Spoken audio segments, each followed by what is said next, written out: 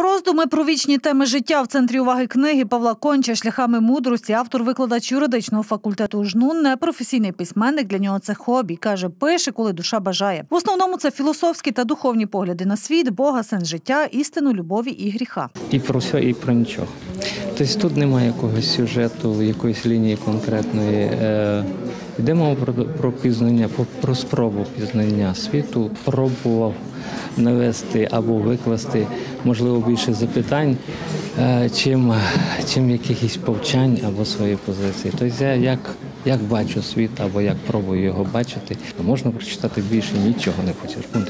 Все залежить від читача, від його настрою, від, від його глибини і бажання пізнати світ. Шляхами мудрості це продовження першого видання автора, яке побачило світ у 2017 році під назвою Книга роздуми про головне. Обидві збірки адресовані різновіковій аудиторії від молоді студентів, зокрема до людей зрілого віку. Книга, е, хоч і не академічна, але вона має дуже багато переваг, оскільки е, е, він не пов'язаний цією академічною шаблонністю.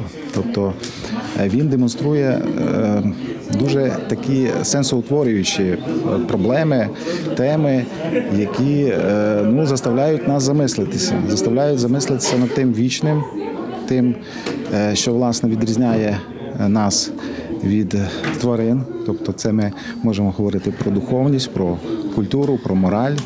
Книга спонукає читача критично дивитися на світ, осмислювати, аналізувати, дискутувати про головні теми буття. Це своєрідне філософське есе про життя із життя. Може слугувати е, ціннісним орієнтиром для читача, який е, вміє шукати головне і читати між, рядка, між рядків. Е, Книга дуже цікава. Я рекомендую її для кожного, хто інколи замислюється над тим, для чого ми сюди прийшли і хто ми такі.